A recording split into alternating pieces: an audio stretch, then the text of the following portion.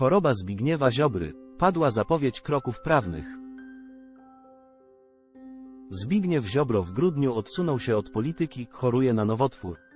Niektórzy zdają się jednak nie dowierzać tym zapewnieniom.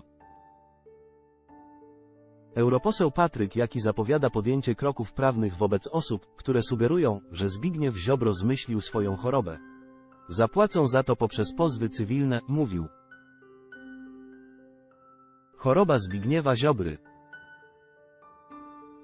Lider suwerennej Polski od 11 grudnia ubiegłego roku nie pojawia się w Sejmie. Nie udziela się w polityce, wszystko przez jego poważny stan zdrowia. Zbigniew Ziobro zmaga się z chorobą nowotworową. Rak przełyku ma być u niego rozwinięty w zaawansowanym stopniu, doszło do przerzutów. Obowiązki szefa partii przejął europoseł Patryk Jaki. Pozostali politycy suwerennej Polski regularnie przekazują informacje o stanie zdrowia Ziobry. Polityk miał przejść już trzy dawki chemioterapii i czeka na operację.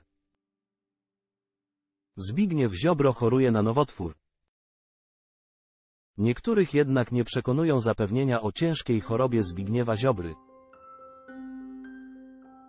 Wśród polityków koalicji rządzącej pojawiają się spekulacje, czy Ziobro nie próbuje tym sposobem uniknąć odpowiedzialności.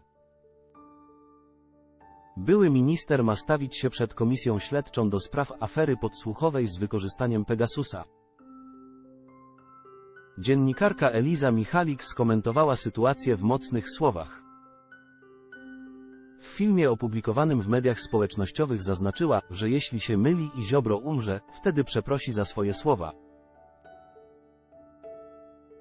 Ziobro jest tchórzem, tak uważam. On nie chce odpowiedzieć za to, co zrobił. On nie chce ponieść odpowiedzialności za to, co zrobił, i zrobi wszystko, żeby tego uniknąć. I właśnie to robi. Tym jest moim zdaniem ta zupełnie strategiczna choroba, powiedziała. Choroba Zbigniewa Ziobry. Patryk Jaki zapowiada kroki prawne.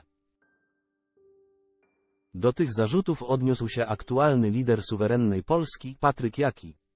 W rozmowie z Radiem Z przekazał, że Ziobro walczy, jest twardy, ale sytuacja jest ciężka.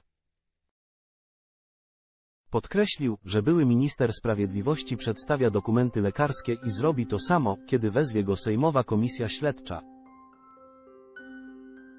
Powiedział, że osoby sugerujące, jakoby Ziobro miał kłamać na temat swojego stanu zdrowia, spotkają się z pozwami cywilnymi.